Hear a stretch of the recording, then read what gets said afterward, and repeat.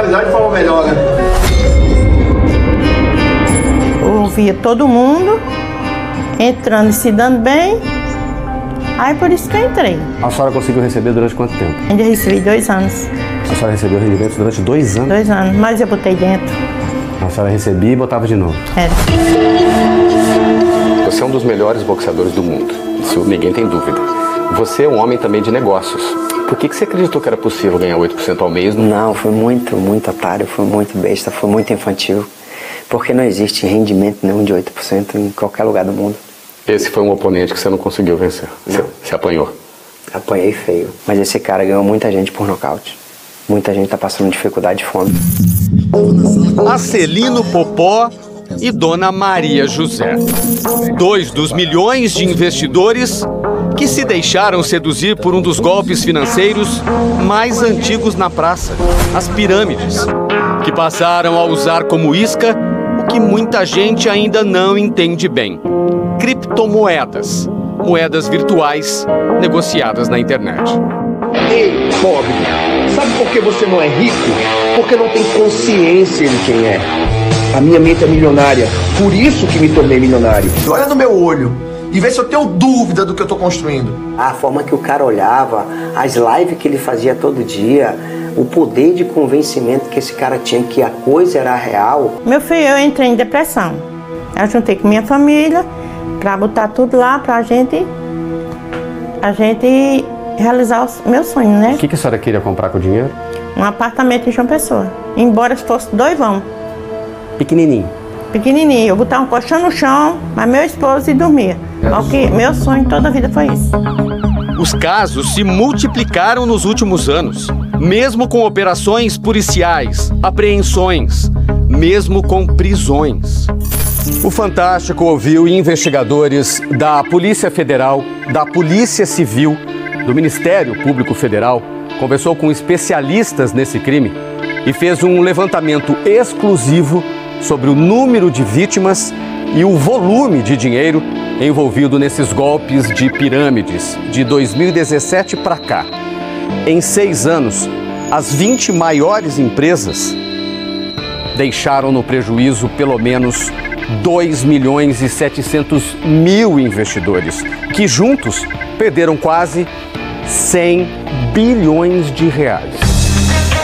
Acelino Popó dispensa apresentações. Mas o que pouca gente sabe é que o tetracampeão mundial de boxe teve uma perda milionária com a empresa Brás Company. Eu fui, tirei do meu bolso um milhão, coloquei. E Depois esse, de um mês, desse um milhão, você conseguiu tirar rendimento? não, consegui tirar um mês só. E no segundo mês? No segundo mês ele sumiu. A empresa que lesou o Popó é a mesma que tirou todo o dinheiro que Dona Maria levou uma vida inteira para guardar. 97 mil reais. Do noite podia o quê? Sumiram? Não tinha mais ninguém para falar? Tem mais ninguém. Tem mais ninguém. Eu fiquei sem nada.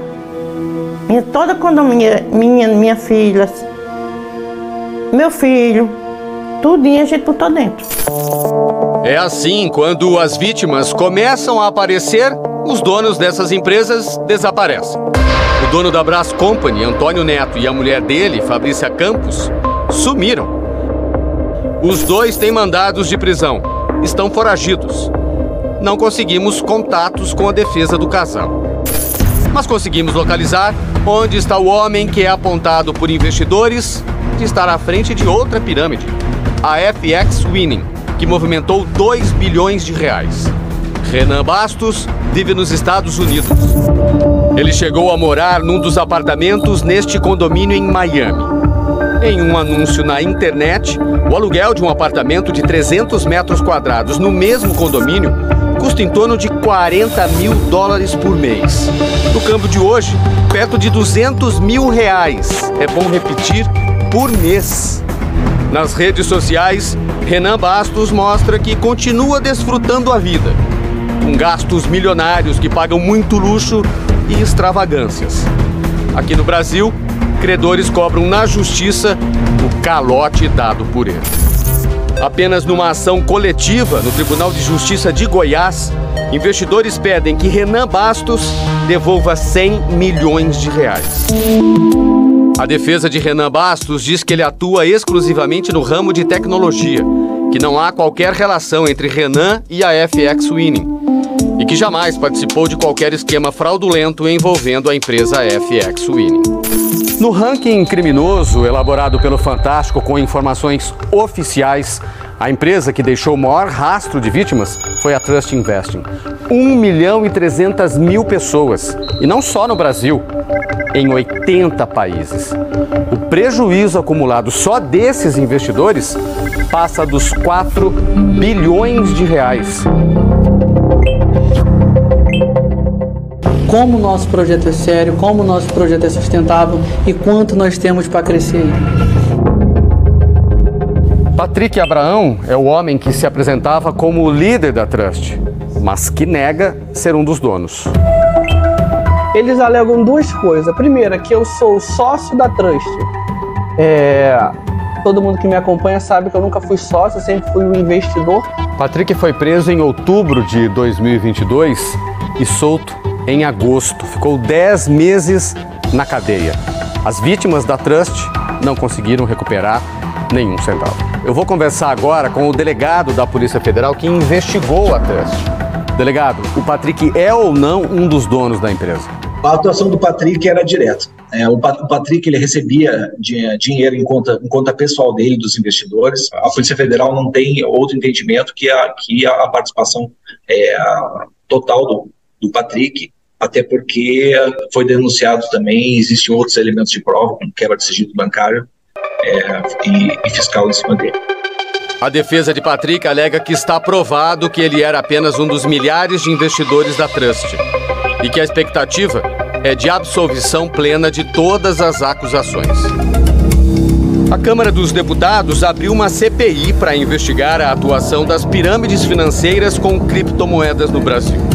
O presidente da comissão é o deputado Áureo Ribeiro, do Solidariedade do Rio. Existe alguma dúvida sobre eh, se essas empresas são ou não pirâmides? Nenhuma. Hoje a gente teve a oportunidade de escutar os seus representantes, escutar trabalhadores que trabalhavam nessas empresas e de ter clareza o que, que elas ofereceram aos clientes, como se dava a operação e o que se tornou as pirâmides quando essas pirâmides não conseguiram mais pagar e devolver aos seus clientes os lucros prometidos. Na lista das empresas consideradas pirâmides financeiras, a que movimentou mais dinheiro foi a GAS, 38 bilhões de reais. O volume é tão grande que o dono da empresa, um ex-garçom, ficou conhecido como o faraó dos bitcoins. Gladson dos Santos está preso. Ele responde na justiça pelo assassinato do investidor em criptomoedas e influenciador digital Wesley Pessano, de 19 anos. O Ministério Público Estadual do Rio diz que o crime foi uma forma de eliminar concorrentes. Nas investigações a que o Fantástico teve acesso, a Polícia Federal encontrou conversas onde Gladson planejava matar outro concorrente, como mostra este trecho do relatório. Patrick Abraão, aquele que a polícia confirma ser um dos donos da Trust Investing. A defesa de Gladson afirma que a GAS não é uma pirâmide financeira e que em nove anos de atividade jamais lesou nenhum cliente e que teve suas atividades paralisadas pela justiça sem que houvesse nenhuma ocorrência ou cliente que alegasse ter deixado de receber os valores contratados. Glidson e Patrick foram ouvidos pela CPI das pirâmides financeiras. O dono da GAS afirmou que teria dinheiro para devolver aos investidores, mas não quis colaborar com a polícia, o que foi recebido pelos deputados como mais uma afronta. Há recursos que estão livres e impedidos, conforme o senhor falou, só que a Polícia Federal não tem a senha. Ah, o senhor tem a senha? Eu tenho a senha. E o senhor não passa? Não passo porque eu vou voltar com a minha empresa. Não, o senhor não voltará às suas atividades antes de indenizar as pessoas. Acho que o senhor tem conhecimento mínimo para saber de que a Polícia Federal não age autonomamente. A Polícia Federal confirmou que Gladson tem criptomoedas guardadas e que estão numa carteira digital apreendida em 2021. São mais de 318 mil Dashcores, um outro tipo de criptomoeda. Na época, estavam avaliadas em quase meio bilhão de reais. A PF monitora as carteiras digitais dele, mas ainda não tem as senhas que permitiriam movimentação.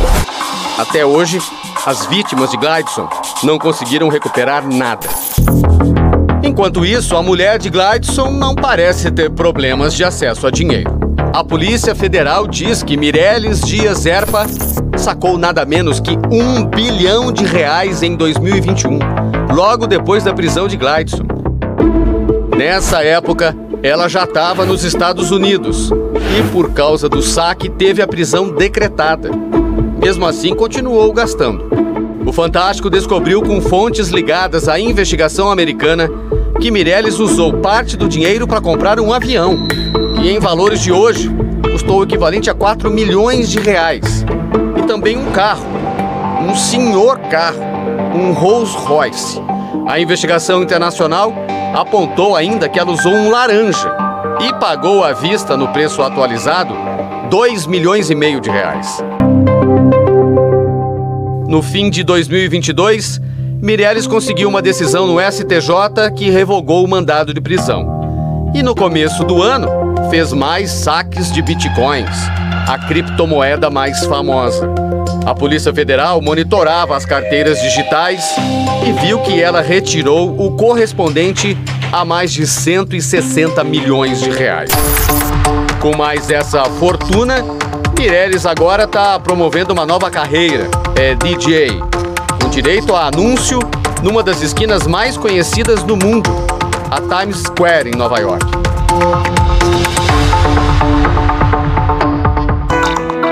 Que também é novidade e ela ainda não sabe é que o Fantástico descobriu que a Polícia Federal conseguiu um novo mandado de prisão. Mireles voltou a ser foragida da justiça brasileira. A defesa de Mireles diz que ela vive legalmente nos Estados Unidos e que jamais teve função administrativa, jurídica ou contábil na GAS e que sequer tinha acesso a tais dados. A essência de uma pirâmide financeira é atrair cada vez mais pessoas para o negócio. O dinheiro dos novos investidores vai garantir por um tempo pagamentos aos mais antigos. Por isso, elas oferecem lucros altíssimos e irreais. O problema é que em algum momento param de entrar novos investidores e fica insustentável manter os pagamentos. E a pirâmide entra em colapso. Esse advogado, especialista em defender vítimas desse golpe, diz que os criminosos escolhem a melhor hora para fugir com o dinheiro. Pirâmide ela não cai, ela não quebra, ela se conclui. Ela finaliza. Ela tem uma tem um total tempo diferença. pra existir. Eles, exatamente, eles vão finalizar isso quando acharem conveniente. Na sala do apartamento pequeno, num bairro de São Paulo, este homem passa horas, todos os dias no computador, para ajudar as vítimas das pirâmides. Ele caça os donos das empresas que estão por trás da fraude. É conhecido na internet por um apelido. Eu sou o ceifador. Meu nome é Luiz Henrique Soldati. Luiz repassa tudo o que consegue para a polícia e para as vítimas. Faz isso depois que viu o melhor amigo tirar a própria vida quando perdeu tudo investindo na pirâmide da empresa GAS. Não sei como essas pessoas conseguiam dormir enganando essas vítimas. Elas venderam sonhos, venderam esperança de lucratividade. Né? E é, muitos falam que ah, as pessoas entraram muito mais pela ganância. Mas assim, quem é que não quer ter lucro naquilo que investe? Né? Mas por a falta de conhecimento, elas acabam entrando no golpe. E esse é o motivo de alertar. Desde junho, o Brasil tem uma lei para o mercado de criptomoedas. A legislação reconhece o que são ativos digitais e trata das responsabilidades dos intermediários e prestadores de serviço. Mas ainda precisa de regulamentação, que vai ser feita pelo Banco Central. O Fantástico tentou ouvir um representante da instituição para explicar o que está sendo feito, mas ninguém quis falar. A lei criou também um novo tipo penal: 171A. É o mesmo crime de estelionato que já existia, mas com uma pena um pouco maior quando se tratar de criptoativos. Esse delegado especialista no combate a pirâmides diz que para prender e manter na cadeia os golpistas, é preciso investigar todos os crimes cometidos por eles. Nós temos que pensar a lavagem de dinheiro, a organização criminosa, às vezes algum crime contra o sistema financeiro nacional, mas nesse ponto, nesse, nessa vertente, a tipificação apenas como estelionato, ela pode ser pequena, porque o crime pode ser muito maior. A CPI foi prorrogada, mas já tem uma decisão. Pelas descobertas feitas até aqui, a legislação que acaba de entrar em vigor vai precisar de uma atualização. As pessoas cometeram crime, tem bilhões de reais que foram tirados da população brasileira, sonhos, expectativas, e as pessoas não estão presas por esse crime estabelecido. Uma legislação que não permita mais crimes como esse aconteçam no Brasil e que as pessoas saiam totalmente impunes levando o recurso da população brasileira. A gente Para viu quando o senhor acredita essa nova legislação? para esse ano. A Procuradora da Fazenda Nacional é especialista no combate à lavagem de dinheiro com o uso de criptomoedas. E diz que ao investir nesse mercado é preciso ter informações básicas. Você não pode confiar para uma terceira pessoa a aquisição de um bem que sequer é regulamentado. Ela acredita que a regulamentação da nova lei vai dificultar a ação de golpistas. Mas o grande desafio ainda é recuperar o dinheiro das vítimas. A gente vê também pelo modus de vida dos criminosos que eles ostentam, que eles compram carros, que eles fazem muitas festas e tudo isso é com o dinheiro das vítimas. As autoridades lembram que criptomoedas são um investimento lícito, negociadas hoje em corretoras e até bancos. É um mercado que vai permanecer porque a tecnologia por trás dele vai permanecer. Infelizmente, como acontece com outras tecnologias, criminosos lançam mão das facilidades que essas tecnologias trazem para o cometimento de crimes. Eu ganhei dinheiro tomando soco na cara. Não foi mole, não foi, não foi ganhar meu dinheiro, não foi brincadeira. Entendeu? Foi 45 pontos no rosto, foi luta de 12 rounds, defendendo título, tudo, para fazer meus investimentos, para ganhar meu dinheiro. Era um valor que eu deixei lá para fazer os meus investimentos. Eu peço pro povo ter cuidado para não investir mais em dinheiro em pirâmide, porque isso é uma pirâmide. Isso é mentira. Isso é mentira. É, é para comer dinheiro do povo. A senhora aprendeu da pior maneira. Foi. Dói muito? E como dói. O cara fala, e se você sumir, se você desaparecer, se você fugir? Eu digo, aí acabou o negócio. Acabou o negócio, acabou o negócio.